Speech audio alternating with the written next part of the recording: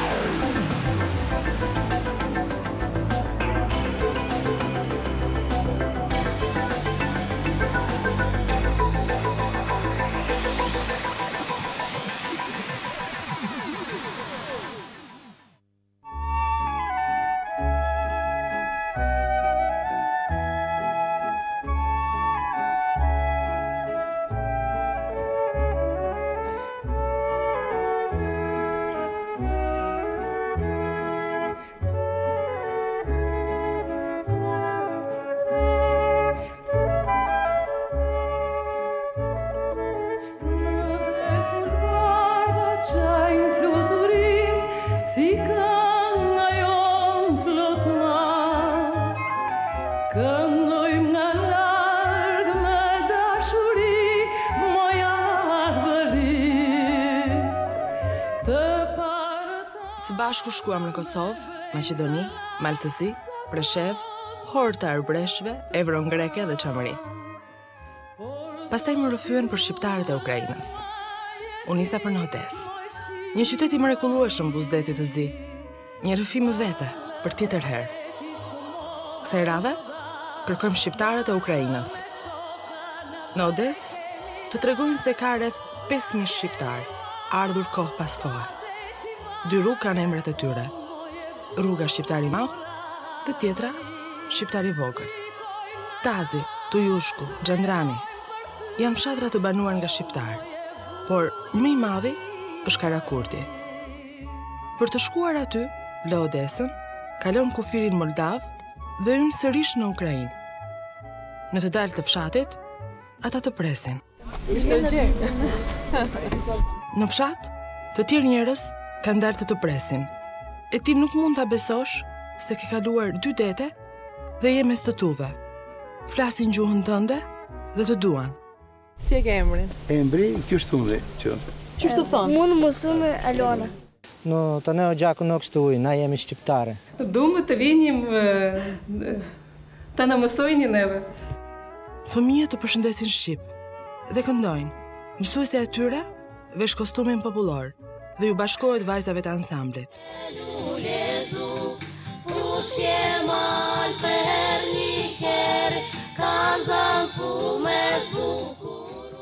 Kanë ardhur tanët nga atdheu të thanë.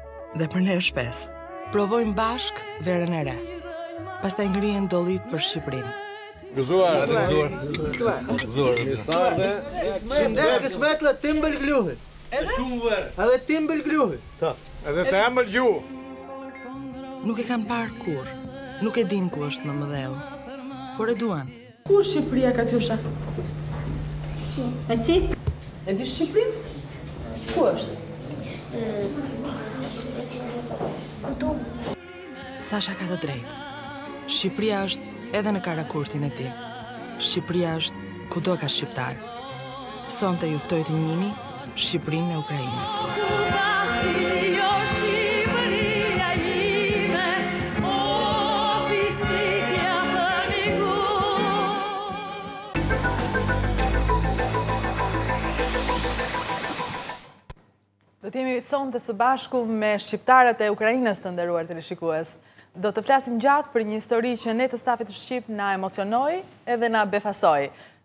Do mundohem ta përcjellim të gjithën sot për ju.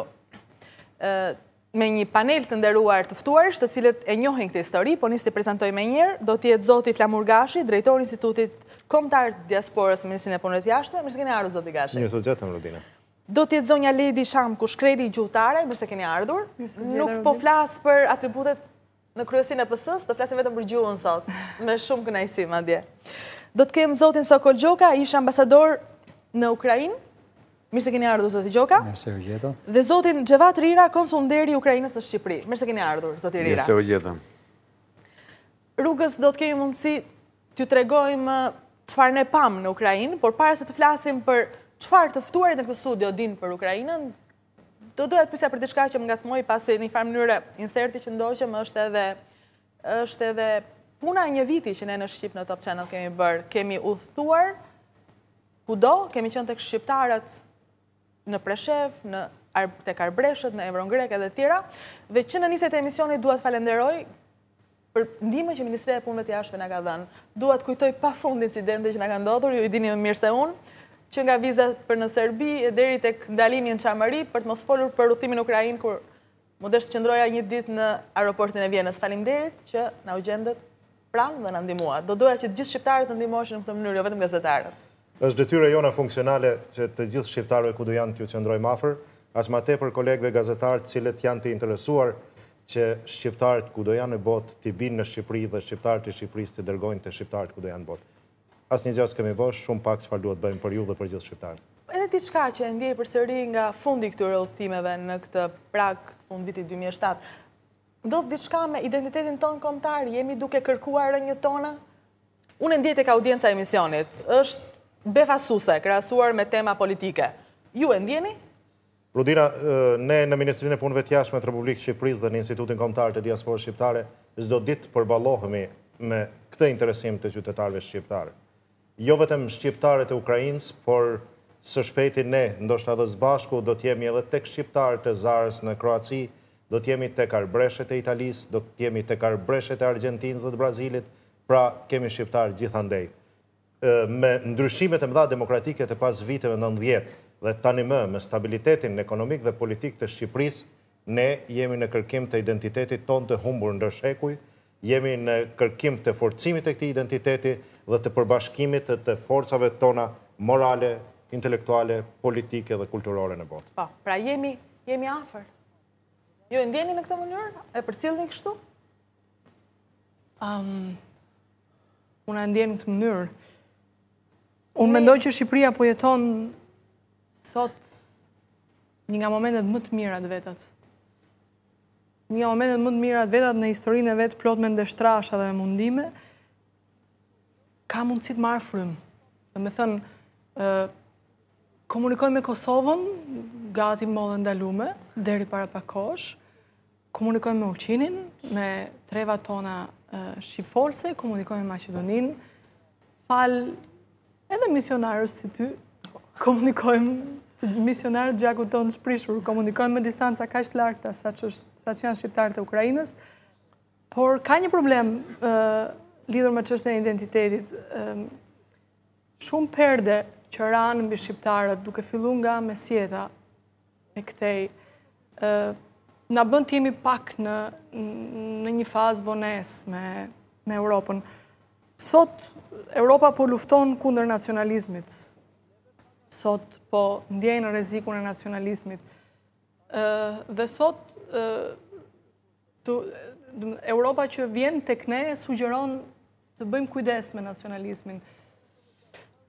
është pak për t'u marrë, jo fjalë për fjalë kjo për ne, është pak për t'u marrë e adaptueshme, sepse pikërisht për këto fazë, këtë fazë vonesë, nuk duhet ngatërruar nacionalizmi me atë që ne ende nuk e kemi formësu, pikërisht për këto perde hekuri që ranë në historinë tonë, atë që nuk është nacionalizm, po është vetëdije historike, atë që është identitet, që po ngjitet ndoshta vetiu, ndoshta nga nga njerëzit vetë, copa copa, siç po, tentojnë të bashkohen ato bulat e merkurit një termometri të thyer, tentojnë të bëhen së bashku prap një bulë e madhe.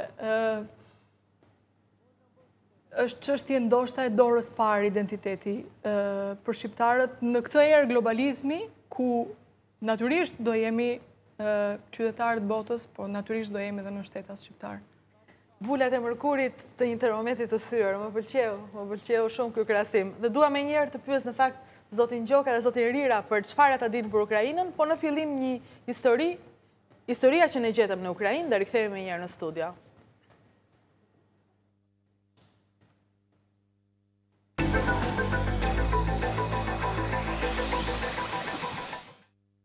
Nuk ka asnjë dokument historik për shqiptarët e Ukrainës. Pak ose fare dihet për ta. Ndaj na mbetet të besojmë në çfarë pamë vetë dhe tek dëshmitë e kujt shkoi para nesh. I pari është Selim Islami, Në vjeshtën e vitit një mijë e nëntëqind e dyzet e nëntë, bashkë me një etnografe ruse ai vizitoi fshatrat e banuar me shqiptarë. Në vitin pesëdhjetë e pesë botoi një libërth me material gjuhësor nga kolonitë shqiptare të Ukrainës. Me shprehjen ti shqypton si ne ata duan të thonë, a kupton si ne, a e kupton gjuhën tonë. Kjo më tërhoqi vëmendjen pikë së pari dhe mendoj se këtu duhet kërkuar rrënja e emrit tonë shqiptar, ai që shqypton, ai që kupton atë gjuhë. shkruan Islami në librin ku ka mbledhur përralla, vargje, ninulla të cilat sipas tij i përkasin dialektit tosk. Ndërsa i pyet ata vetë se nga cila krahinë e Shqipërisë vijnë të tregojnë. Ato janë të darë ga Korça, sozere të ngritur turkit, iknë ga turkit. Mbetnë ca Bullgari, mbetnë, pëstaj Ekaterina kur u nis të japë baltë, tokë, këtë tokë u nis të japë këtu në Besarabiat, U ngritën erdhën këtu. Carica e Rusisë. Erdhën këtu, erdhën këtu dhe bën këtë fshat Karakurt. Pse quhet Karakurt? Nuk e di, më thonë kur a kallnë në të parë në kërlec një tokët, kur a kitnë dull i zezë po jakë, karakurt. Çfarë dole? Tokë e zezë. Tokë e zezë. Tokë e zezë. Dhe për anda e mbet Karakurt.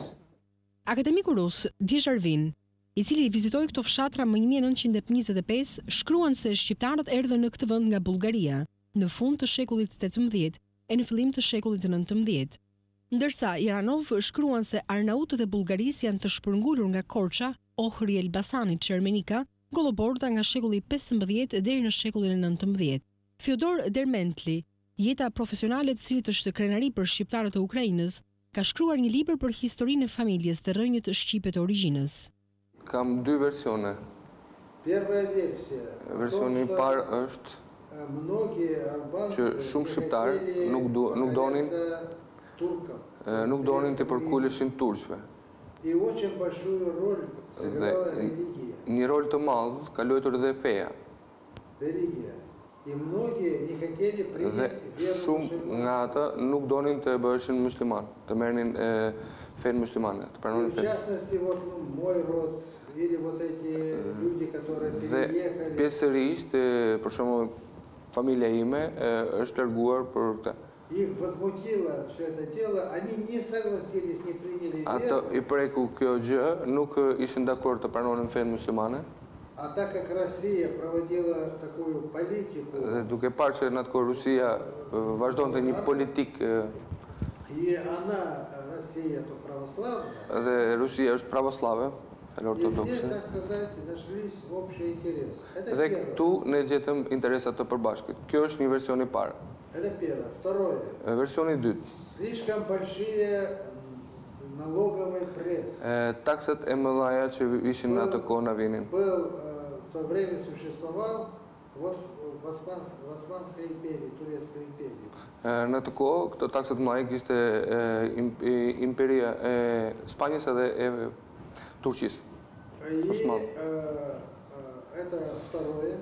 Kjo është e dyta, kjo është versioni i dytë. Dhe unë mendoj që këta janë dy versionet kryesore, të cilët bënë të mundur, apo për shkak të arsyes që migruan njerëzit nga Shqipëria. Në vend të flas, ata thonë zallahis, në vend të kuptoj, shqiptoj. Të kërkojnë të flasësh kadal kadal. Gëdale gëdale kur zallahit në shqiptonë. Ata janë shqiptarët e Ukrainës.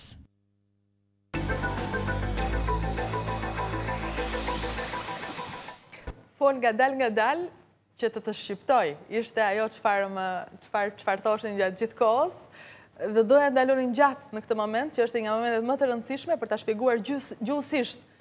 Por në pjesën e dytë, tani si fillim dua të di çfarë të ftuarit dinë Për historinë, sikundër thashë, nuk ka asgjë të shkruar, të besueshme, më së paku, por librat që janë shfrytëzuar, që kam shfrytëzuar për këtë emision, kanë qenë disa shqiptarët e Ukrainës shkruar nga dy gazetarë të, shqip, të Maqedonisë, shqiptarë të Maqedonisë që bënë një udhëtim dhe bën dhe një emision televiziv, një libër i shkëlqyer, gjithashtu një libër i cili më la shumë mbresa i zoti Derment Li, i cili fatkeqësisht fliste shumë pak Shqip, me një karrierë të shkëlqyer, me një karrierë për ishte mburrje dhe krenari për, për Shqiptarët e Ukrainës, ai tregon se në fund të jetës së vet profesionale, kur u ndje i pjekur, kur u ndje baba edhe një gjysh i mirë mendoi se kishte bërë gabim ndaj stërgjyshve që nuk dinte se si kishin ardhur deri në atë fshat. Kërkoi rrënjët dhe bëri këtë libër, i cili u botua edhe në Shqip nga zoti Xhevat Rira, ndërsa kjo ka qenë një dokument i jashtëzakonshëm historik i zotit Selim Islami, të cilin ma dha profesor Kristo Frashëri para se të nisesha, do të flasim më gjatë, por në pjesën e dytë.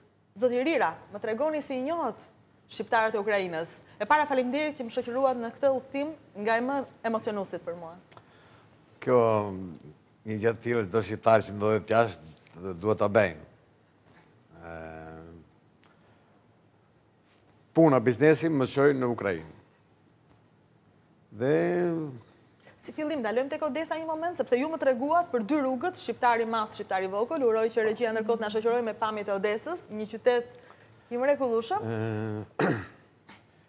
Pikërisht për këto dy rrugë, edhe unë kur kam shkelur për herë të parë në vitin 98 në Odesë, Më ka ardhur shumë çudi, që si ka mundësi që këtu të jenë dy rrugë shqiptare. Ç'kishin bërë shqiptarët në Odesa?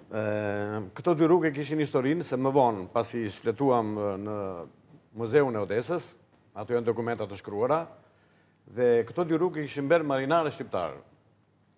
Në vitin një mijë, rreth viteve një mijë e tetëqind, një mijë e shtatëqind e nëntëdhjetë. Që përkojnë edhe me krijimin e Odesës, pra ndihmuan... Këto përkojnë me krijimin e Odesës. Pra marinarët shqiptarë që ndodheshin me anijet e tyre atje, pasi atje kishte punë, se Odesa është ndërtuar brenda 20 vjetësh, Dhe këto dy rrugë i ka ndërtuar marinarë shqiptarë. Dhe pikërisht e morën... Emrin e tyre. Emrin shqiptarja, rruga e madhe dhe rruga e vogël. Malaja Arnautskaja, Balshaja Arnautskaja. Pse na queshin Arnautsk tani, se në atë periudhë ishte sundimi turk ke neve dhe turqit na thoshin Arnaut dhe pikërisht ata e shkruan Malaja Arnautskaja. Çfarë ka me këto dy rrugë? Nuk do të zgjatem, gjatë periudhës së komunizmit në Bashkimin Sovjetik, pas viteve 60 deri më 90 që edhe atje u transformua demokracia, këto rrugë nuk ekzistonin. Merita e Bashkisë së Odesës, e kryetarit të Bashkisë të asaj periudhe, ose një vendimi të këshillit bashkiak të Bashkisë së Odesës, i rikthyen përsëri emrat e këtyre dy rrugëve të cilat ekzistojnë dhe sot. Po. Dhe shkoni në Odesa, si njiheni me shqiptarët e disa fshatrave? Nëpërmjet lidhjes së kontratave që kishim ukrainas të ndryshëm, më thoshin ti Albanski, Albania, dhe po këtu jetojnë shumë shqiptarë, po i thashë, ku janë se unë doja që t'i takoj, dhe rastësisht të parin që kam takuar një biznesmen shqiptar që ishte në Odesa, që quhej Viktor Stamati. Dhe së bashku me njerëzit e tjerë që ishin në Odesë, më treguan për Karakurtin, për tre fshatrat e tjerë që ndodhen në në prefekturën e Zaparozhës, ku unë kam qenë atje, kam dërguar dhe abetare, me porosinë e Zotit Gjoka, dhe Mora iniciativën dhe një ditë prej ditësh vajta. Këtu mora edhe informacionin se si edhe sa shqiptarë kanë afrësisht ke shumë qytete të Ukrainës ka shqiptarë. Të përqendruar janë në fshatin Karakurt, ku janë rreth plus minus 2.000 shqiptarë, në Odesë janë rreth 1.000 shqiptarë, në Kishinjev, në Moldavi, mund të jenë mbi pesëdhjetë deri njëqind familje, ka në Kiev, ka në Zaparozhje dhe në zonën e Zaparozhjes janë tre fshatra, të cilat të quhen mos gabohem kështu, Georgjevkaja, Djevenitskaja dhe Aleksandrovskaja. Këto tre fshatra janë, si të thuesh, etnikë shqiptarë atje. Në qoftë se në Karakurt jetojnë dhe gagauzë po. edhe, edhe bullgarë, atje janë të pastër fshatra shqiptarësh. Por, shqiptarët atje kanë shkuar nga, si të thuesh, burimi i këtyre tre fshatrave është fshati Karakurt. Po, ishte Karakurti fshati kryesor nga ku u shpërnda. Afërsisht tani, nuk ka një evidencë shumë të saktë, por duke marrë popullsinë që është në Karakurt, popullsinë që është në Odesë, dhe të shpërndarë në të gjithë qytetet kryesore të Ukrainës, edhe sidomos në tre fshatrat që ndodhen në Zaparozhje, thomi se do të jenë 6 deri në 7.000 shqiptarë. 6 deri në 7.000 shqiptarë në Ukrainë. Megjithatë, të mos i përmbajmë shifrat, mos i po, marrim për të besueshme, po sepse asnjë nga dokumentat nuk flet me shifra të qarta. Rëndësi ka që ka shqiptarë dhe shumë shqiptarë deri në Ukrainë. Zoti Gjoka, ju si kontaktuat me ta dhe ju çfarë dëgjuat dhe mësuat për historinë e tyre, e cila vjen në mënyra të ndryshme, por sidoqoftë është një. Fillimisht do të thoshja që unë jam njohur me historinë e shqiptarëve të Ukrainës rreth 20-25 vjet më përpara. Nga një telereportazh i transmetuar nga i vetmi televizion i asaj kohe në Shqipëri, pra televizioni shqiptar, edhe vërtet më ngjalli interes ky fakt që edhe në Ukrainë kishte shqiptarë dhe veçanërisht në rajonin e Odesës. Natyrisht detyra e ambasadorit më ngarkoi me këtë detyrë integrale që e ka çdo ambasador dhe çdo përfaqësues i shtetit shqiptar në një vend tjetër, që të shkoja, të kontaktoja, t'i njihja më nga afër dhe natyrisht të fusja politikat e integrimit të tyre, pranë vendit amë. Kontaktin e parë me, përveç literaturës, po kontaktin fizik do thosha, me shqiptarët e Ukrainës, e kam zhvilluar në vitin 2003, në fund në nëntor të vitit 2003. kur për herë të parë në Ukrainë ne zhvilluam festën kombëtare. Natyrisht kini parasysh një ambasadë që është rezidente në një vend tjetër. Ju jeni rezident në Varshavë. Në Varshavë patjetër. Duhet të organizonte një pritje, një ceremoni me përmasa të tilla, që do thosha të një karakteri shumëplanësh, por duke ditur që ne kishim dhe një diasporë aty, dhe duke ditur që ata ishin dhe të organizuar, edhe me disa institucione që ne mund t'i përdornim në aktivitetin tonë, veçanërisht me ndihmën gjithmonë bujare të konsullit të nderit të Ukrainës në Shqipëri, zotit Rira, bëmë të mundur që të thrisnim në këtë aktivitet edhe një ansamblin e diasporës shqiptare, në Ukrainë, të shoqëruar natyrisht dhe me drejtuesit e kësaj diaspore, domethënë kryetarin e shoqatës së shqiptarëve të Ukrainës, kryetarin e kooperativës, kryetarin e fshatit, sepse ishin të ndarë dhe aty institucionet. Dhe aty unë mora kontakt për herë të parë me ta, natyrisht Zallahitëm shqip, siç thonë edhe shqiptarët e Ukrainës, dhe shikoja që aty ishte ruajtur për rreth 250 vjet ndjenja shqiptare. Përkatësia shqiptare dhe natyrisht dashuria e tyre për t'u lidhur me vendin amë. Nga literaturat që shfrytëzoja përpara se të shkoja në Ukrainë, më rezultonte që kjo pjesë e Shqipërisë, kjo popullsi shqiptare në Ukrainë, të, të jetë ngulur në këto troje ku ata jetojnë sot, rreth 250 vjet më përparë. Kryesisht gjatë luftës ruso-turke, në vitin 1748 e më tutje, sepse janë zhvilluar disa luftra ruso-turke, dhe më rezulton që këta shqiptarë me fe ortodokse të jenë njohur nga drejtuesit e perandorisë ruse dhe veçanërisht nga Ekaterina, por edhe nga Aleksandri i Parë, ku përveçse ofrimit nga ana e tyre të vendbanimit të disa politikave lehtësuese në fushën e taksave, madje edhe tokë falas deri në 60 hektar tokë për çdo familje, është bërë e mundur që lokalizimi i tyre, veçanërisht në këto troje ku jetojnë sot, të cilat janë shumë afër detit të zi.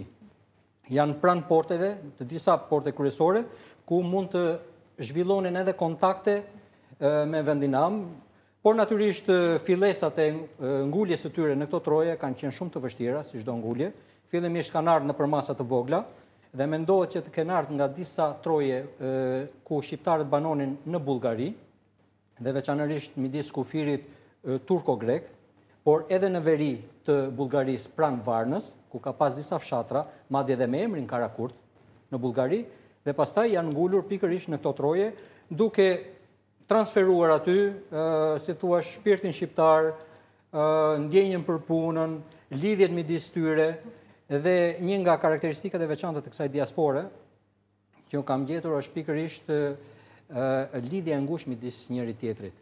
Ndërkohë që në diasporat e tjera shikojmë në një farë mënyre një lloj individualizmi, një lloj shkrirje me vendet ku ata ekzistojnë. Ishin shumë larg Shqipërisë për të qenë vetëm. Kurse këta lloj shqiptarësh, këta kanë ruajtur mjaft integritetin midis njëri tjetrit.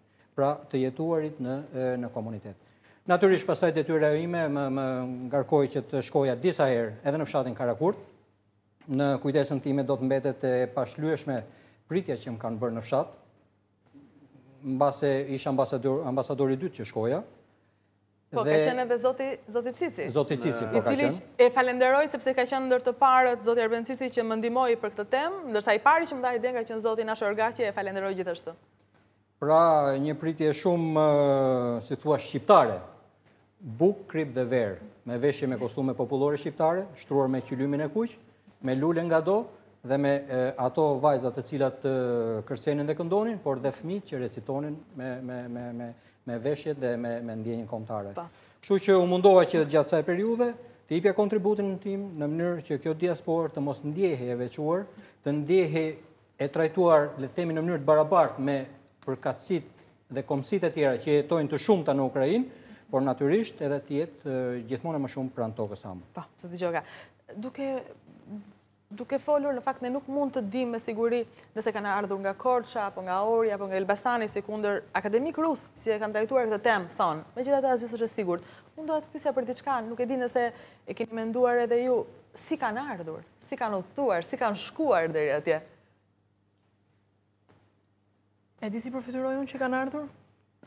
Siç paraqiten shpesh ikjet shqiptare për të mos rënë në sundimin turk, osman, në sundimin osman,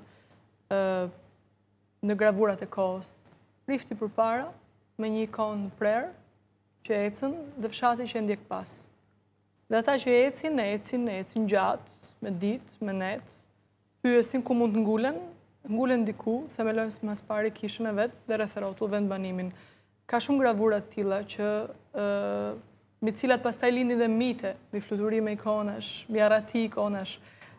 Po ka shumë gravura të tilla të kohës që i paraqesin kështu largimet e shqiptarëve. Megjithatë, Rudin ti fole për gjuhën, dhe kam përshtypjen që jemi në një emision ndoshta historik, në një moment ndoshta historik, sepse më zuri syri dhe veshi, kur dëgjova syri, kur dëgjova diçka shumë të veçantë. Shqiptarët e Ukrainës e ruajnë shumë mirë gjuhën e tyre, thotë Selim Islami. Në 55-ën? Po, në 55-ën. Veten ata e quajnë Arnaut. Me shprehjen ti shqypton si ne, ata duan të thonë a kupton si ne, a e kupton gjuhën tonë. Këtu duhet, ndoshta duhet kërkuar rrënja e emrit tonë kombëtar, shqiptar, është ai që shqipton, domethënë kupton atë gjuhë. Ka disa hipoteza rreth etnonimit tonë. Hipoteza e parë dhe ajo që së cilës i mbahet edhe Çabej e më pas dhe Mustafa Kruja, është hipoteza e hedhur nga Majeri, i cili thotë që ky emër fjala shqip vjen pikërisht nga një folje e latinishtes ex-kiper, ex-kipere ose ex-kipio, Që do të thotë, kuptoj, merrem vesh. Flas shkoqur, flas kuptueshëm, merrem vesh. Nuk është latinishte ballkanike, sikundër është pandehur dhe rëmësot, unë konsultova fjalorë, është një form që nuk duket, nuk del nëpër fjalorët e latinishtes klasike, është një form e latinishtes së mesme. Ka tri kuptime, kuptimi i parë do të thotë përjashtoj, kuptimi i dytë do të thotë kaloj, lë mënjanë, dhe kuptimi i tretë është pikërisht ky, flas shkoqur, Kuptohem, merrem vesh. Me sa duket, ky kuptim ka qenë në përdorim atëherë, kur u mor dhe u përshtat nga ne.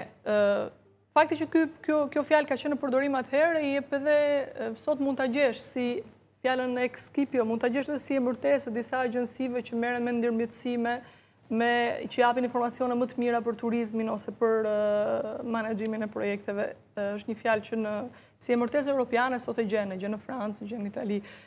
Çka duhet të them? Deri më sot, këta dijetarë, Çabej, Kruja, i ishin përmbajtur kësaj hipoteze të Majerit, po duke arritur, duke pa një rekord, pa një regjistrim, pra- faktik, pa një provë.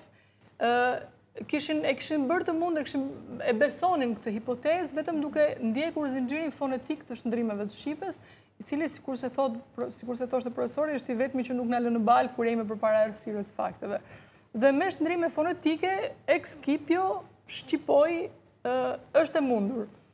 Pra, mbetej, mbetej, mbeteshim në hipotezën që me gjasë, Duke i duke iu referuar pastaj edhe fjalë togfjalëshit të ngrirë fol shqip, që nuk do të thotë fol shqip siç thonë anglezët speak english, por fol shqip, fol qartë, fol të kuptueshëm, fol që unë të të marr vesh.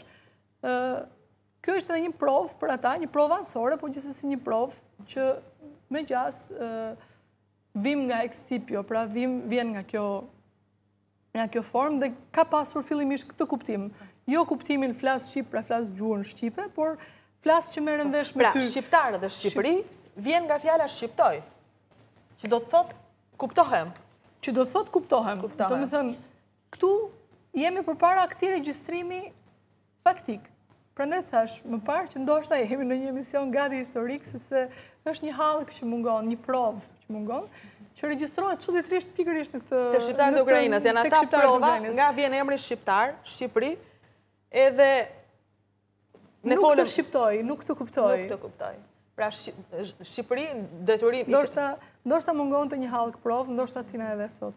E dhanë shqiptarët e Ukrainës, në fakt po ndihesha keq kur po flisnit e emision historik, zakonisht burrat nëpër emisione, flasin më shumë jo, kështu, femrat janë më... Po ju jeni gjuhëtare, ju e dini... Unë e emocionuar, sepse ne kemi pak dokumente historike, tek ne vepron, duhet të veprojë më pas, më fort, ajo që quhet arkeologi gjuhësore. Shqipja ka dalë vonë nga Prehistoria, dokumenti ynë i parë i shkruar është formula e pagëzimit.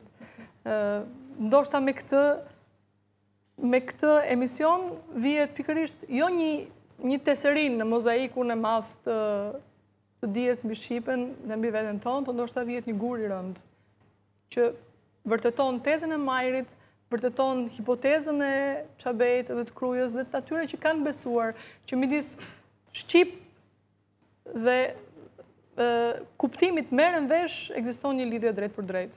Gjë që na dha emrin shqiptar dhe gjë që më bën të shpjegoj edhe kuptimin e parë dhe drejtpërdrejt të këtij emisioni që mban emrin Shqip. Po ndërkohë do të zgjatemi më tepër për të shpjeguar gjuhësisht atë që historikisht nuk e shpjegojmë dot në pjesën e dytë, kur do ju do ju mundësojmë të dëgjoni vetë ata, çfarë thonë si flasin Shqip, si zallahiten dhe si duan të na shqiptojnë neve.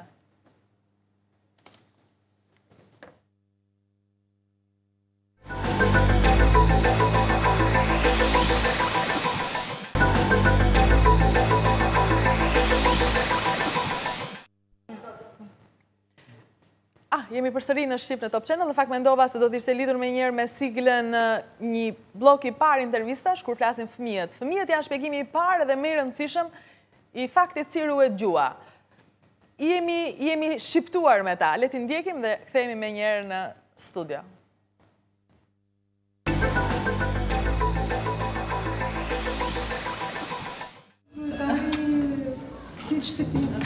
Drejton në në fsha.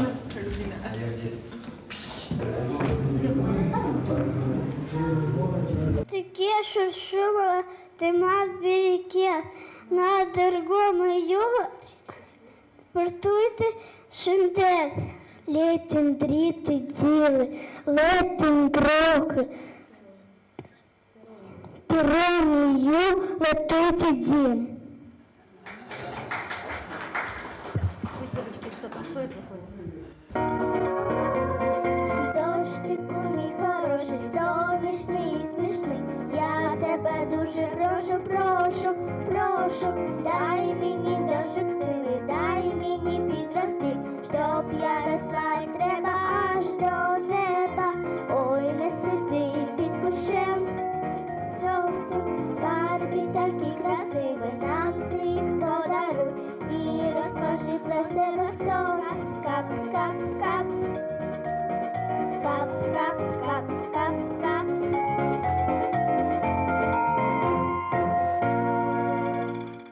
Mua më thonë Rudina.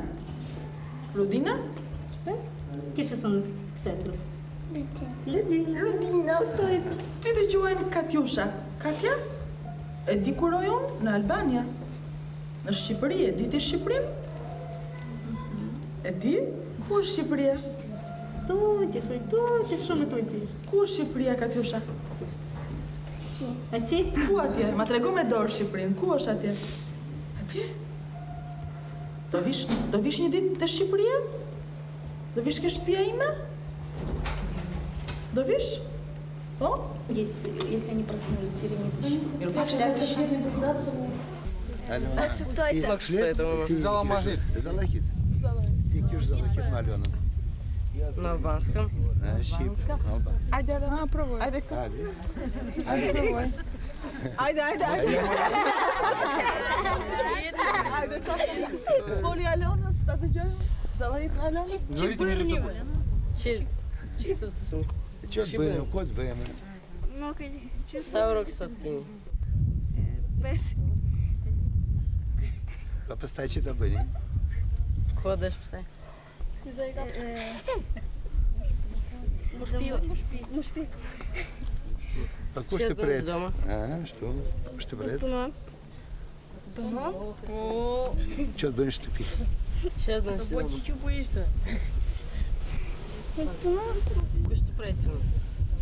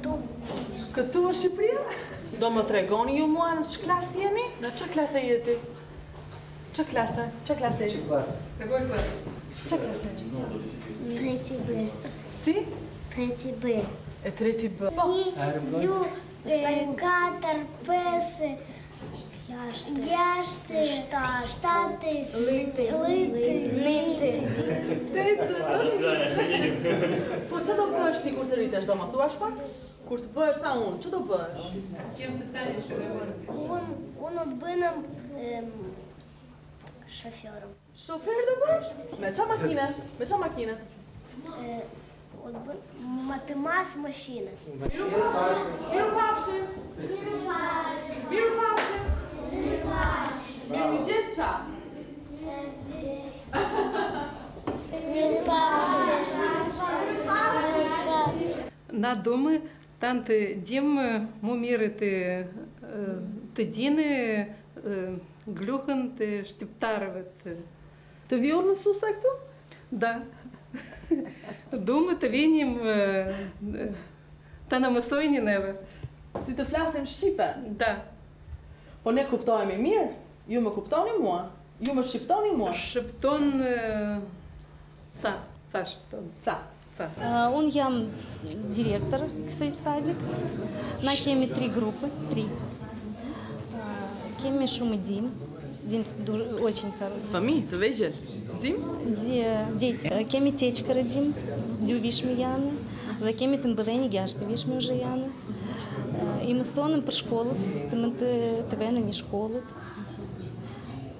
Dhe qëtu them.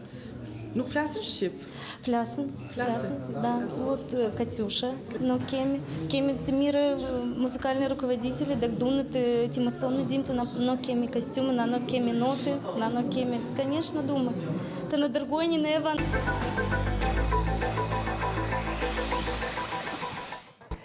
Ishin fëmijët edhe mësuesit e tyre në nisje. Tani, do doja përsëri një tjetër blok intervistash, do doja të dëgjonim të rriturit, po ata çfarë thonë, si flasin shqip, si kuptohemi, si shqiptohemi, dhe çfarë kërkojnë, t'i ndjekim. Janë të gjitha intervista të përgatitura nga operatori Eno Çuçllari. Le t'i ndjekim.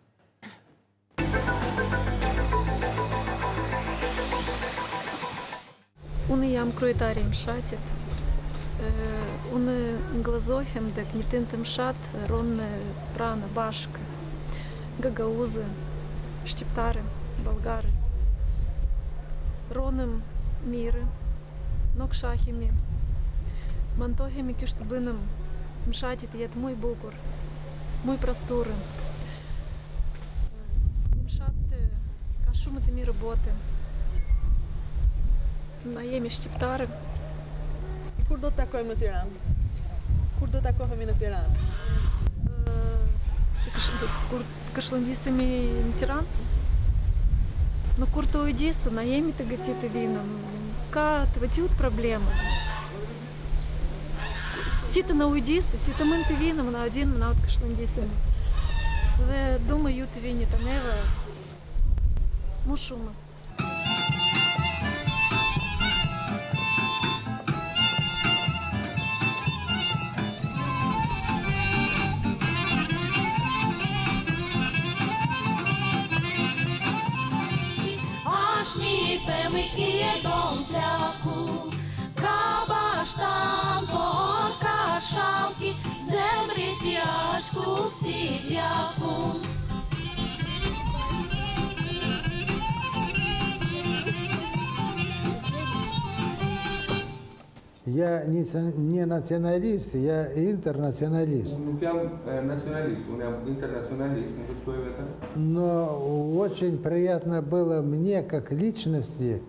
когда в моем паспорте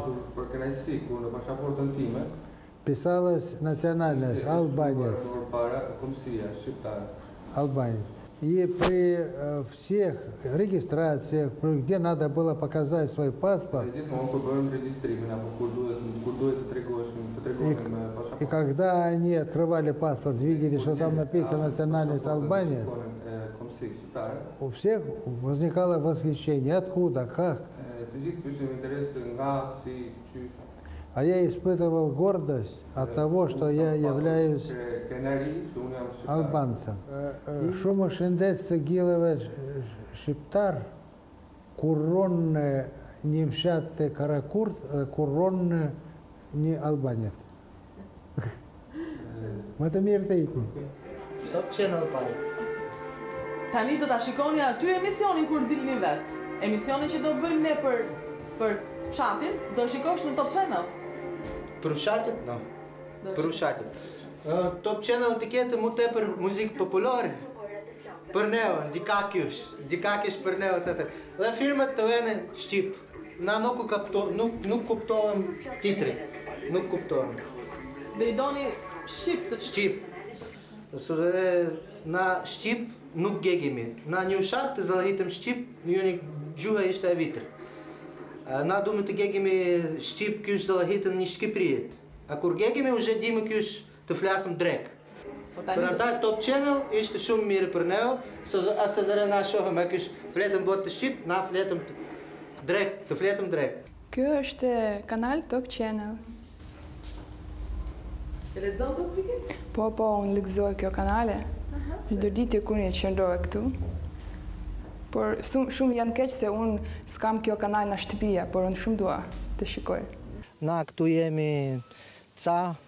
Na këtu jemi nji mile gjeshtëkind shqiptare nji këti vushat no të ne o gjaku nok është uj na jemi shqiptare na triqind vit këtu rronëm vet na nuk kemi të ardhur botë ga Shqipëria fletëm shqip ca prost për antaj lutemi Shqipërisë ndimën të ma ndihi ca ma libre abetare të ma ndihi ca Shtëpisë së Kulturës, ma këngë, shqip këngë, notë, të dimë muzikë, të kemi muzikë shqip, për antaj lutemi, ndikakysh, na ndihni ne, na jemi shqiptarë të Ukrainës, du të them ata dëk, na jemi shqiptarë, jemi shqiptarë si juve shqiptarë, da jemi shumë prapë të daltur jemi ga Shqipëria, nu na nuk e harrojtim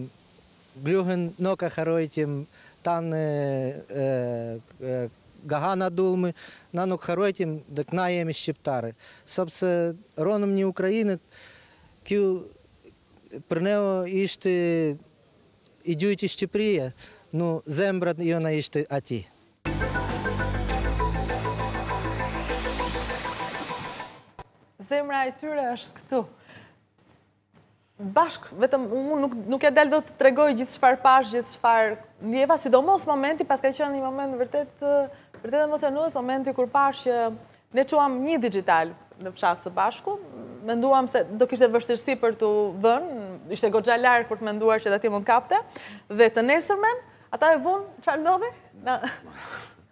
Aty ishte festë e madhe, e? Ishte festë. E vunë antenë, e vunë antenën e fshatit dhe në çdo shpi ishte kanali numër një Top Channel. Në antenën qëndrore të fshatit, ku shikon gjithë fshati dhe gjithë ai kush është i lidhur me atë antenë, gjithë ai rrjet. Dhe dëgjojmë Shqip, ishte një lumturi që ne po dëgjojmë Shqip, ata flasin Shqip, por anko është një s'kështë shumë këngë popullore.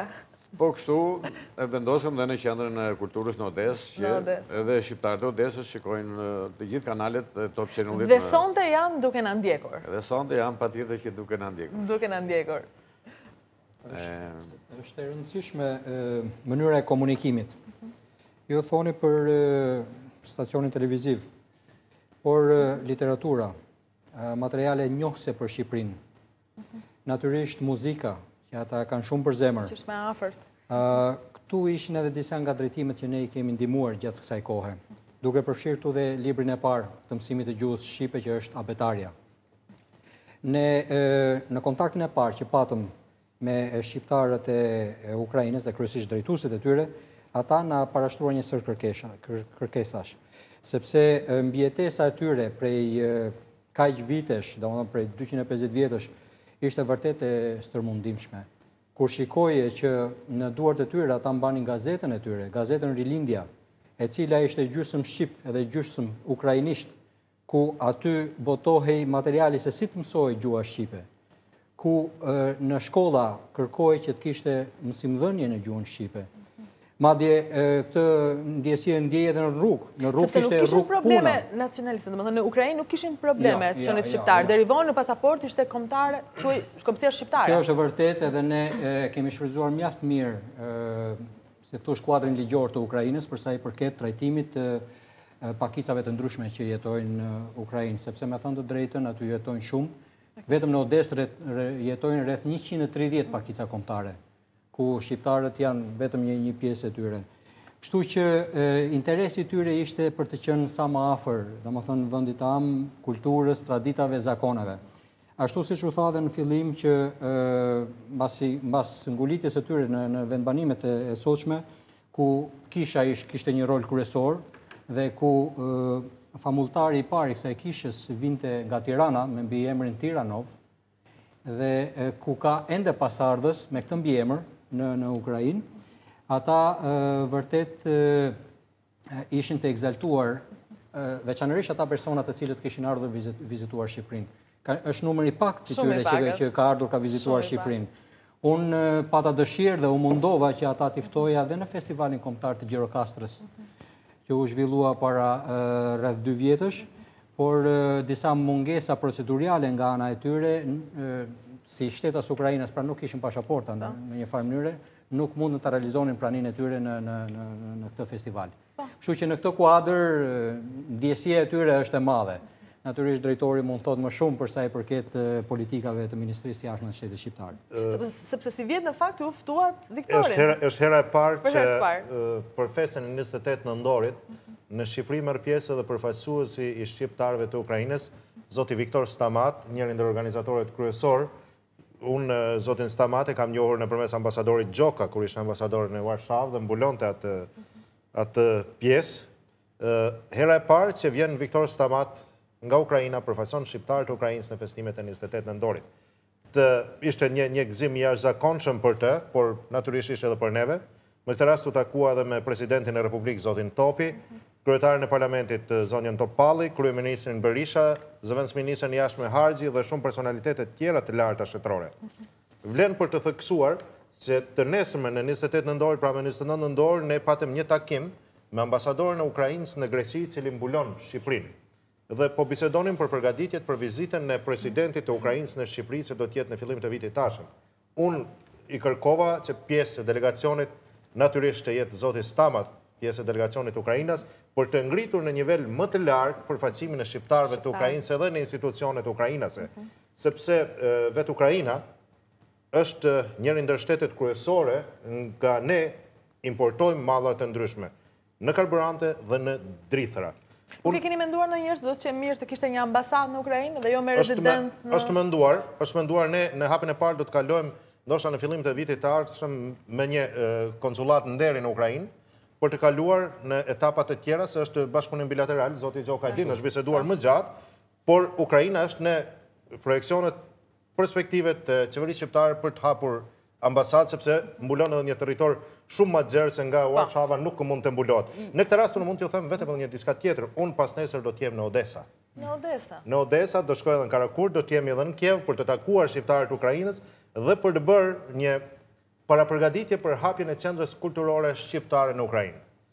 Qeveria shqiptare ka planifikuar që brenda vitit 2008 të hapë tre qendra kulturore, Aty ku ka më shumë shqiptarë, do të hapim në Romë, në Athinë dhe në Londër, por është një eksperiment pozitiv ky që po ndodh në Ukrainë dhe po hapet para këtyre tri mhm. qendrave të iniciativës së qeverisë shqiptare, sepse po hapet në bashkëpunim me biznesin shqiptar. Unë në Odesa do të jem me një grup biznesmenësh nga Shqipëria dhe nga Kosova, mhm. për të parë ambientin ku do të hapet Kjo Qendër Kulture Shqiptare dhe për të biseduar për termat konkrete të funksionimit të kësaj Qendre Kulturore Shqiptare. Pra, është një bashkëpunim i qeverisë shqiptare me biznesin nga Kosova dhe nga Shqipëria për të bërë këtë Qendër Kulturore atje. Po.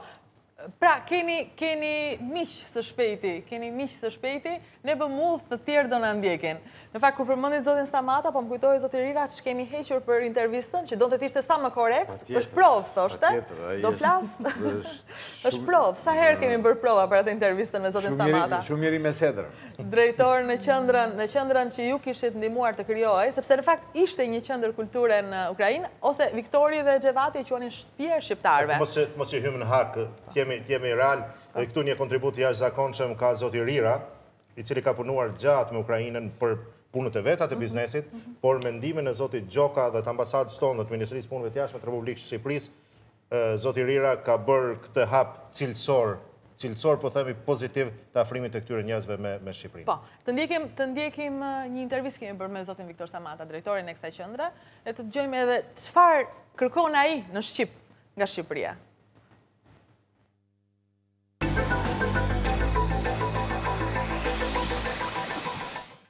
Shqiptarët e Ukrainës kemi shpresë se mendimin e shtetit shqiptar dhe mendimin e biznesmenëve shqiptar do mund të zgjidhin një pjesë të problemeve se kemi ne shqiptarëve e Ukrainës. E para, mësimi i gjuhës, historisë dhe kulture kombëtare, e dyta, dhënia e mundësisë për të ardhur pa viza për ne, shqiptarët e Ukrainës, në Shqipëri. E treta, hapja e konsullate apo ambasadës në mënyrë se ne, shqiptarëve Ukrainës, ta ndjejmë veten më pranë shqiptarëve dhe Shqipërisë. E katërta, në krijim e ndërmarrjeve të përbashkëta prodhuese dhe ndërtuese, turizmin dhe biznesin. E pesta, hapje zyrtare e Centrës së Kulturës të Shqiptarëve me centër në Odesa, e cila do të japë mundësinë e zhvillimit të mëtejshëm kulturës marrëdhënieve mes Shqipërisë dhe Ukrainës. Viktor, mirë se erdhe në shtëpinë time. Unë isha në shtëpinë tënde, tani erdhe ti mysafir në Shqipëri, mysafir në shqip. Mirë se ke ardhur. Shumë jam gëzuar. Shumë jam dakord da kam ardhur dhe një herë këtu në Tiranët, në Tirana është kryeqytetit atdheut tonë. Jam shumë e gëzuar, da, sejças jam shumë e gëzuar da kam këtu. Zonjë Rudina, ti më pëlqejte kur ishe në musafir te ne, Odesa dhe në Karakurt, ku banon kompakt shqiptarët të Ukrainës? Si janë shqiptarët e Ukrainës? Kemi lajme të reja, kemi lajme të mira? Kam ikur që nga shtatori tani dhe u bë kohë pa ardhur. Janë mirë. Të gjithtë presën kur të dalë ky filmi, ti da ke bërë, da ki në shtatortë kur ishit ju, dhe tama të gjithtë shqiptarët, të gjithtë shqiptarët në Shqipëri, të dinë çi bënëm na, qysh banonëm, qysh rronëm, çi dumë, na dumë, të jemi më afër me Shqipëri, të kemi, të kemi mund të vinë këtu më dendur, musafir te juve, dhe ju të vini te neve. Dhe na, na tani kemi 25 kanal Shqipëri, në tanët fshat dhe në centrë kulturë Odesa.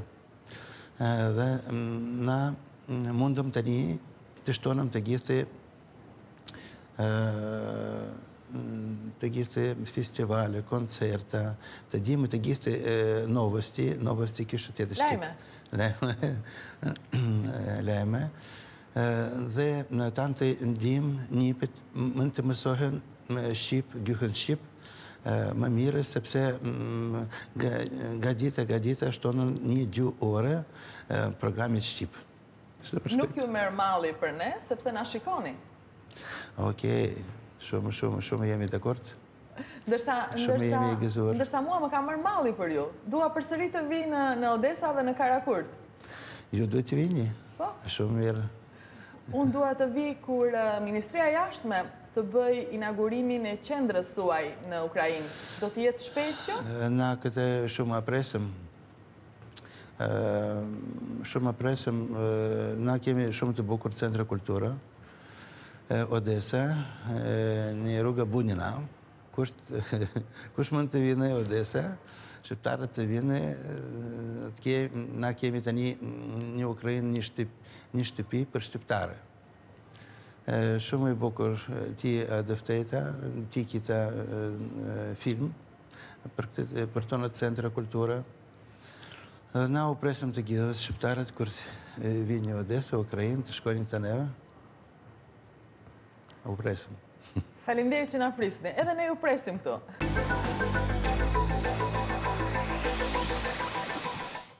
Na ngjan si Zvjerç Malit thonë në studio, Viktori, pak. Ia kemi thënë dhe ndihet shumë e ngazëllyer, kur i themi që na ngjan si Zvjerç Malit. Ka i në i s'fejl që malit.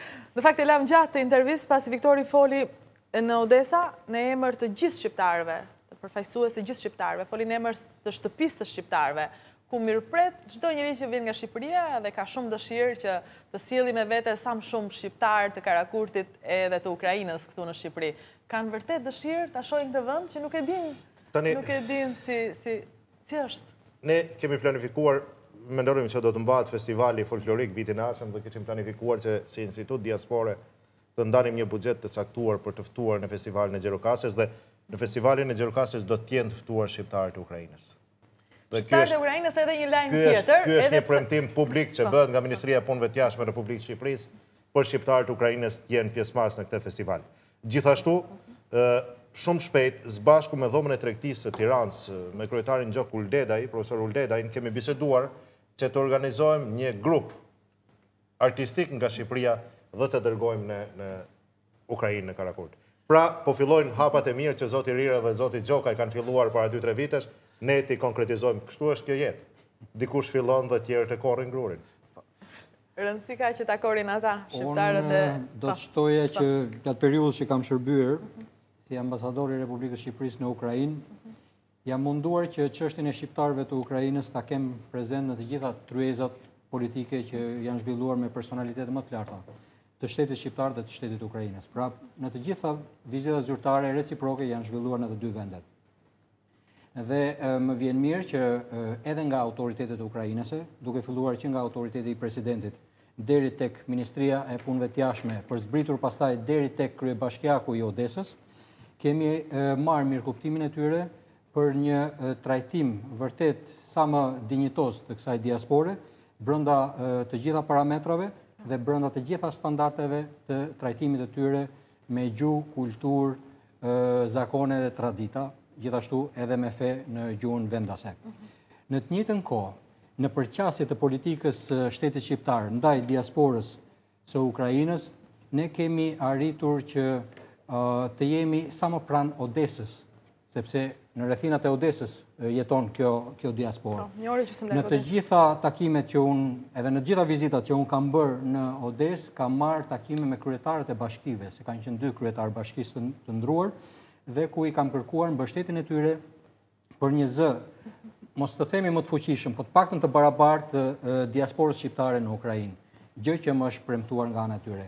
Në të njëjtën kohë, po punojmë që edhe në Odesë të kemi një konsull nderi të Shqipërisë, në mënyrë që ky konsull nderi të jetë sa më afër edhe problematikës së shqiptarëve. Po, zoti Gjoka, në fakt do kalojmë tani në pjesën e tretë, ndjesë zoti Rira foli shumë pak, po puna juaj flet vetë. Nuk ka shumë rëndësi fjala ndonjëherë, puna është e rëndësishme. Dhe madje ata që punojnë më shumë, flasin më pak, do të jemi në pjesën e tretë të Shqip në Top Channel, do të kemi gjithashtu aty një lidhje drejtpërdrejt me Ministrin e Arsimit për të për të pyetur zotin Pollo, çfarë do bëjë për kërkesën që ata kanë, duan libra në gjuhën shqipe, duan mësues në gjuhën shqipe.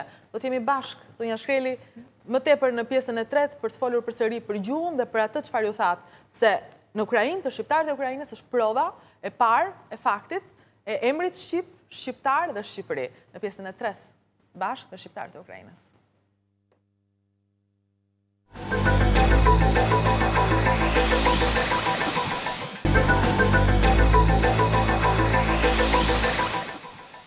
Dhe jemi përsëri me shqiptarët e Ukrainës, ndërsa përgatitet lidhja e drejtpërdrejtë me zyrën e Ministrit të Arsimit Zotit Pollo, dua t'ju pyes ju, zonja Shkreli, për diçka që më bëri përshtypje gjithë kohës, madje edhe u vetofrova për të bërë mësuese në Ukrainë, pa dyshim që nuk e kisha seriosisht, por ishte një moment emocioni, ata ka nevojë për mësues, për të mësuar shqipen e drejtë, thonë. Në fakt?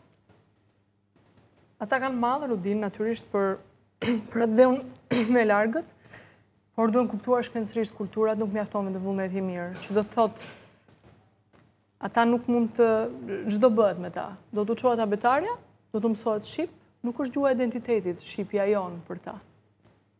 Është, gjuha e identitetit për ta është albanci. Pra, duhet ndërhyrë shkencërisht në raste të tilla. Nuk mjafton vetëm vullneti i mirë, nuk mjafton vetëm patosi, as etosi, nuk kryejnë shumë punë, sepse duke mos ndërhyrë shkencërisht, rrezikon t'i rrafshosh të këto kultura, që kanë Jo vetëm që janë shumë të rëndësishme, sepse sikurse vërehet nga shestimet gjuhësore, janë të dhëna që shtyhen deri para Buzukut në kohë, deri në vitet 30 të shekullit 16, sikurse del nga prapë nga shestimet gjuhësore, kemi të bëjmë me fenomene që shqipja sot nuk i ka më të dokumentuara, Por nuk është halli vetëm t'i ruash ata si rast studimi. Ata në një fazë të parë duhen konsoliduar. Domethënë, është detyra jonë e vëllait të madh, në këtë rast që t'i kuptojmë ne ata, t'i studiojmë ne ata, meqenëse siç del në libër tek shqiptarët e Ukrainës, kanë vështirësi të merren vesh, sepse nuk janë vetëm nga Korça, janë nga Korça, janë nga rrethinat, janë edhe nga veriu, janë nga Dibra, madje vihet re që mund të jenë edhe nga vende pak a shumë të mbyllura të të veriut, sepse unë vërej dikund që thuhet guh. Po, të çfarë i mora në fakt Viktori, atë çfarë lexoi, atë çfarë tha në Ukrainë, i thashë ta shkruante, shqipja nuk shkruan, ata nuk e shkruajnë shqipen, por ai gjeti gërmat në kompjuter dhe shkroi diçka që e solla, e solla për ta parë gjuhëtarja. Ai shkruan guh, që do të thotë që një mm, formë e tillë del pikërisht në në Gurin e Bardhë, që është në Gur të Bardhë, kufirin ndarës midis Dibrës dhe Matit, prej nga mund të kenë ikur, ë është një mm, del dalin fjalë të tjera, është një është një formë shumë e vjetër e ruajtur dhe e mbyllur e shqipes aty Por nuk është, unë nuk do të futem në detaje të tjera, të rendis fjalët grek, fjalët gege si kërçele, maz, bri formave toske, që janë për të parë përbërjen e këtyre e këtyre shqiptarëve. Edhe një gjele, ditë ludem, ata nuk thonë j-në, ata nuk përmendin j-në, çfarë, ju më thatë diçka? Ha, është, j-ja është një, në gjuhësi quhet, quhet epitezë, jo, quhet protezë, është një, Po themi antihiatus që v-je është vënë shumë, është vënë më vonë në shqipe. Pra ata kanë ikur aq herët sa nuk e kanë gjetë j-në. Prandaj thashë që janë të hershëm, janë ndoshta në rrëndit e të të shumë juve, zonja Rudina, jo juve. Për mundësinë që e tojnë, pa jë, interesante. Është,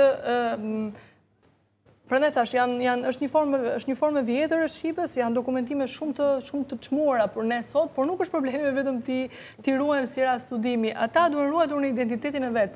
Dhe t'u çosh atyre një abetare, që sikurse pe ti e gjete në muze, në muze do ta gjesh, abetaren e 85-ës ti e gjete në muze, dhe abetaren e 2005-ës, po dhe 2025-ës do ta gjesh në muze, sepse t'u mësosh atyre shqip, është njësoj si t'i mësosh një gjermani shqip, dhe të pretendosh që ai të bëhet shqiptar.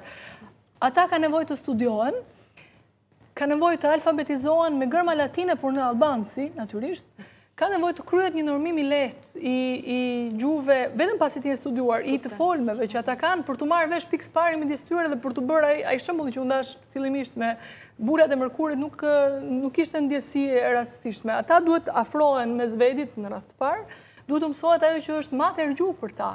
Sepse Shqipja jonë nuk është mater gjuhë për ta dhe nuk është objekt identiteti për ta Shqipja jonë. Ti rrezikon t'i fshish ata gjuhësisht, duke çuar tek fëmijët flas, duke çuar tekste nga Shqipja e sotme, duke çuar materiale didaktike me Shqipen e sotme, sepse nuk është ai bosht identitetit për ta. është albansi bosht identitetit për ta. Domethënë, ne duhet të shkojmë, t'i studiojmë, Të mundohemi t'i restaurojmë ato mangësi që kanë me dokumente që ne mund t'i kemi për këtej nga mbledhësit tanë të folklorit, Thimi Mitko e shokë, dhe t'u krijojmë tekstet për ta, me këngë, me fjalorë për ta, me materiale didaktike për ta, dhe fillimisht, fillimisht është kjo gjë për t'u bërë, fillimisht është kjo mënyrë e tyre alfabetizimit, të mos bëjmë gabimin që Pretendojnë të bëjnë disa profesorë tanë duke shkuar tek arbëreshët sot e duke u mësuar Shqipen tonë. Kemi raste të mira ndërgjegjësimi të arbëreshëve, pikërisht për këtë unë njoh një poet, njoh dhe çmoj një poeteshë, Kate Zukaro, e cila në vitet 80-85 shkroi poezi në gjuhën në Shqipen tonë, dhe në një ribotim të dytë pikërisht për zgjim të kësaj vetëdije historike, të kësaj tutele ndaj gjuhës, të kësaj të pari ndryshe të gjuhës si element identitar, në ribotimin e dytë që i bëri këtyre poezive, ajo i ktheu në arbërishten e vet, sepse aty është vlera. Mbasi ta kemi bërë këtë, mbasi t'i kemi studiuar, dhe mbasi t'u kemi dhënë atyre materialin e vet, jo Shqipen tonë, është gati është gati pushtim, është fshirje, pa dashje ndoshta, nisur me qëllimin e mirë, po t'u japim atyre shqipen tonë, vetëm atëherë, mbas 20 vjetësh, kur t'jemi pleq, po m'blidhemi së rishë të temi, si t'ia bëjmë që t'i përafrojmë ata me ne. Po, ky është qëndrimi juaj, ky është mendimi i gjuhëtarëve, ky nuk është qëndrimi im, kjo është tutela që parashikon sot Europa për mbrojtjen e pakicave gjuhësore, për mbrojtjen e trashëgimive gjuhësore, për mbrojtën e... Sepse jemi bukur kur prano... një komb është Është, ndihet mirë kur pranohet në shumëllojshmërinë e vet, jo në homogjenitetin e vet. Sepse, në fakt, nuk e kisha në kuptimin, ky është qëndrimi i partisë socialiste, të dëgjojmë qëndrimin e partisë... Jo, jo, natyrisht, po flisnim, po flasim për gjuhën, nuk... Po flasim për gjuhën. Por dua të kemi një lidhje me Ministrin e Arsimit për të ditur qëndrimin edhe Opinionin e zotit Pollo për këtë. E kam një lidhje me Ministrin e Arsimit? E kam. Përshëndetje, mirë se erdhët në Shqip, zoti Pollo. Mbrëma, faleminderit për ftesën. Jemi duke folur për shqiptarët e Ukrainës. E kam ndjekur, shumë interesante. Kemi shumë kënaqësi ne në studio, urojmë ta kemi përcjellë edhe te teleshikusi. E dimë që ju e njihni, e njihni mirë këtë moment, duam të dimë juve a ju ka ngacmuar edhe çfarë keni bërë Çfarë do bëni dhe a ndani të njëjtin qëndrim me çfarë tha zonja Shkreli, apo keni një mendim të ndryshëm? Ne kemi qenë aktivë këto dy vjet në këtë fushë, por aktiviteti ynë ka pasur të bëjë në radhë të parë me emigracionin e ri shqiptar, pra me qindra mijë shqiptarë që janë vendosur në Greqi, në Itali, në Angli dhe në Gjermani dhe jemi përpjekur që të ofrojmë libra shkollorë, të gjuhës, të letërsisë, të gjeografisë dhe asaj që mund të quhet kulturë amtare, në mënyrë që të ruhet, të konservohet dhe mundësisht të zhvillohet identiteti shqiptar i tyre, sepse në kushtet e sotme, në kushtet e një a kulture globale me mjete të informimit masiv është shumë më e lehtë se ç'ka qenë pesëqind vjet përpara të bjerret ky lloj identiteti. Ka qenë një përpjekje, mund të bëhej edhe më shumë, situatat nuk janë dhe aq të favorshme, por gjithsesi ka nisma të mira që na gëzojnë dhe na inkurajojnë në vendet që ju përmenda edhe në Shtetet e Bashkuara të Amerikës dhe në ndonjë vend tjetër, Një diçka që kemi bërë për herë të parë në korrik të këtij viti ka qenë seminari i mësuesve të diasporës. Nga shumë vende të Europës u mblodhën në Durrës për të bërë një trajnim specifik për mënyrën se si mund të kultivohet shqipja dhe kultura amtare tek fëmijët e emigrantëve.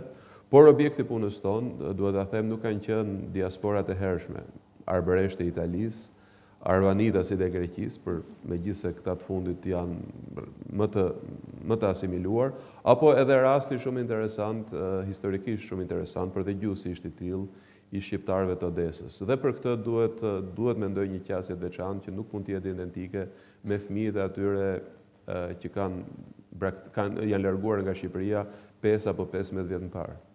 Ndërkohë, në qoftë se na ndoqët gjatë rrugës, ata thonë, duam mësues të gjuhës shqipe. Pra kërkojnë të dërgohet mësues. Është e mundshme kjo bëhet apo premtohet edhe? Kjo në parim është e mundshme, është duhet parashikuar në një një fond të veçantë. Ne kemi bashkëpunuar me Ministrinë e Jashtme, e cila ka përgjegjësinë për koordinimin e këtyre gjërave dhe këtu paraqiten çfarë është bërë nga Ministria e Jashtme. Ne shpesh nga si Ministri Arsimi kemi dërguar abetare dhe libra tjerë, sipas kërkesës, të shkollave të ndryshme gjuhës shqipe, në Greqi, në Angli, në vende të tjera. Ë, mësuesi është një mundësi që të gjejmë një mësues të trajnuar dhe të specializuar që të shkojë atje. Është mundësi më e mirë që një mësues i shqipe si asaj shqipe në Odesë ë në tek shqiptarët pranë Odesës të mund të vijë dhe të trajnohet këtu për të dhënë orë të lira këto janë aranzhime që ndryshojnë nga vendi në vend në varësi me ë mundësitë që ofron çdo shtet të cilat nuk janë të njëjta dhe këto janë gjëra që duhen duhen parë me me me ambasadën tonë me konsullin e nderit që ka bërë që ka bërë këtë punë shumë të mirë në mënyrë që të japim një zgjidhje, të plotësojmë një kërkesë të relativisht të thjeshtë që na vjen nga nga shqiptarët e Ukrainës. Po, kishte diçka zonja Shkreli? Nuk është aq e thjeshtë kjo kërkesë, kërkon një kërkon radhë parë që gjërat bëhen bashkë, kërkon radhë parë që gjërat bëhen me, me metodologji shkencore natyrisht, sepse sinqerisht ju siguroj që rrezikojmë rrezikojmë shumë. Rrezikojmë t'i fshijmë këto pakica kombëtare. ë Unë di që, sepse këtu dhe nuk merren vesh gjërat në të vërtetë, në çdo universitet ose në çdo institucion shkencor në botë, ti futesh dhe shikon stendat e varura me punët kërkimore që ka në dorë gjithsekush, rastësisht mora vesh që një student, një Vajzë që punon për doktoraturën në Shën Pjetërburg, është ngarkuar nga profesori që udhëheq departamentin e shqipes. Atje një nga udhëheq departamentin e shqipes, të studiojë pikërisht këtë pakicë gjuhësore. Këtij studimi nuk ka nevojë të trajnohen mësuesit e Odesës në Shqipëri. Ka nevojë, kemi nevojë ne të shkojmë atje, të hartojmë së bashku me ta bashkë, sepse ata e dinë më mirë se ne, se si është gjuha e tyre, me ta bashkë të hartojmë një material didaktik në Albanski, them edhe njëherë, jo në shqip, për ata, Dhe pastaj, si të jetë kryer kjo punë, si ata të kenë konsoliduar rrënjët e veta, si ata të kenë konsoliduar identitetin e vet, ndoshta mas shumë vitesh mund të mendojmë se si t'i përafrojmë ata me shqipen tonë, por nuk është problemi të merremi vesh ne me ta, është problemi në radhë të parë të ruen ata, Kjo është rruga shkencore që propozojnë tutelat gjuhësore sot, sepse gjithsekushi ka të drejtë në radhë të parë të mësojë matergjuhën e vet dhe vetëm mbi matergjuhën e vet mund të ndërtohet. Të dhe të shka ti, Rudina, në lidhje me këtë që tha zonja.